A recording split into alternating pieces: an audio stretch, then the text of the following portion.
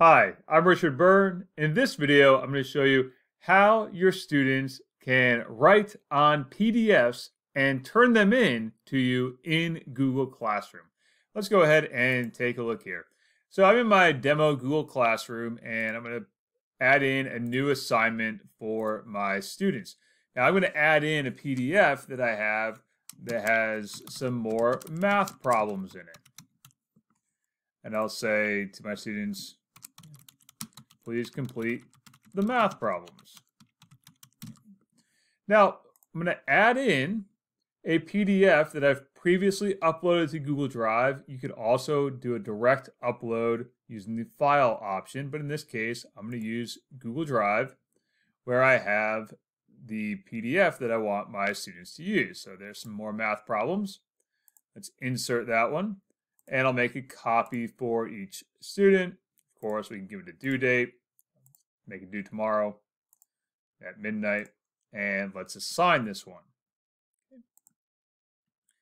So now I've assigned it to my students, and let's take a look at how my students will see this in Google Classroom.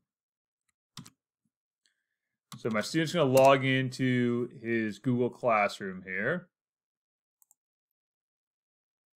And he'll see the assignment as soon as he logs in.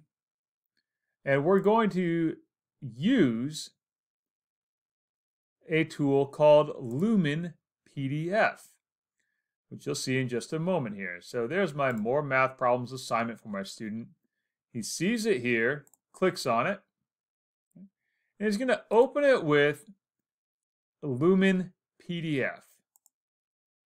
And I have a link for Lumin PDF in the description of this video. Let's make sure I've allowed cookies here. So my student's going to connect it to Google Drive. He hasn't already done so. And he'll see he's got this more math problems and he can now go in here and you know use any color he wants and do his math assignment. 112 plus 79 now, obviously, if you're using some kind of touch screen, it's a lot easier than using your mouse like I am right now. But student go in and do the math problem. There it is. Then in the upper right hand corner, he's going to sync it to Google Drive, create a copy of it, syncs it up. All right. Now and again, you can do that as many times as you want, so you can make multiple copies or you can override the original. Either way will work. And now you can go and say add or create.